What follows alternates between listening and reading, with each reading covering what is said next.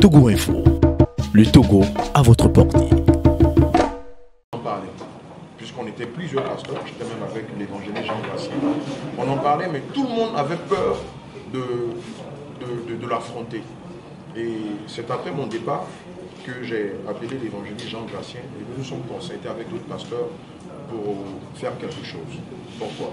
Euh, Parce que nous avons vu le désarroi de nos frères et de nos sœurs qui ont quitté plusieurs pays et qui sont dans ces camps-là et qui, comme l'a dit le, pasteur Afolabi, qui vivent dans une précarité extrême.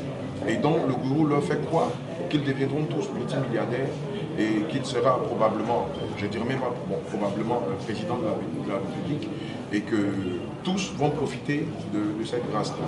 Voilà. Et c'est pourquoi nous avons parlé au plus pressé et nous avons rencontré qui de droit, en l'occurrence vous, que chacun de vous, à son niveau, puisse faire ce qu'il doit faire pour que la saignée s'arrête, pour que le sieur Gabriel soit arrêté, surtout pour que sa secte soit fermée et que toutes ces personnes-là retrouvent leur, leur vie dans le Alors, quelles sont les formes, Quand vous estimez aujourd'hui que vous êtes victime, qu'est-ce qui, vous a fait concrètement? Euh, moi, moralement, j'ai subi beaucoup de préjudices. Pourquoi?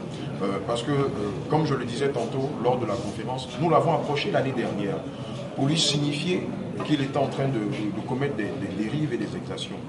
Et, mal lui en est pris de, de nous diffamer. Si vous allez sur sa chaîne, vous verrez que nos photos sont postées et beaucoup de méchanceté et de fausseté surtout sont dites sur nous. Voilà, et donc c'est pourquoi je parlerai de, voilà, de, de préjudice. Et quels sont les cas de temps Les cas de- Torture peut-être, ça dépend. Bon, on ne va pas parler de cas de torture, mais de violence physique. hein, de violence physique, de séquestration morale et psychologique sur ces adeptes. Euh, on a un cas patent, euh, on a l'un de ses lieutenants euh, qui secrètement euh, avait des rapports avec l'une de ses adeptes. Et évidemment, comme c'est lui qui, octroie hein, les, mariages, c'est lui qui fait les mariages, il a donné l'une de ses, filles à ce lieutenant-là.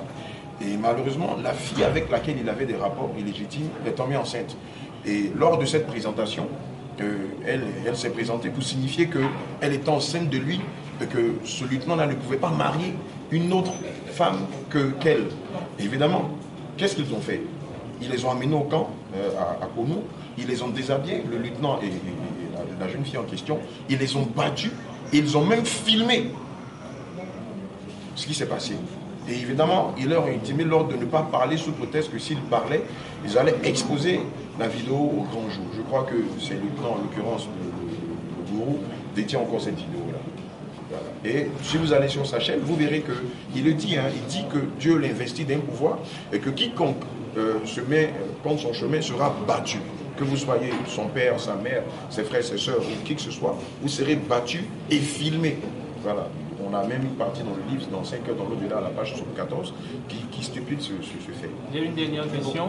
Avez-vous porté plainte à la justice? Oui, nous avons porté plainte et nous avons remis la plainte au procureur de, de- de la République. Voilà. Et il faut dire que, euh, comme, le- comme je le disais tantôt, nous avons été approchés par plusieurs parents qui nous ont contactés euh, dans le but de, de- de- de passer par les voies légaux afin de- d'extriper leur famille, leurs parents, leurs époux, leurs époux, leurs enfants de, ce lieu-là. Nous avons fait une liste exhaustive de toutes ces personnes qui sont entre les mains du procureur la. Donc, vous Je suis nom. Abraham de la Côte d'Ivoire. Abraham de la Côte d'Ivoire.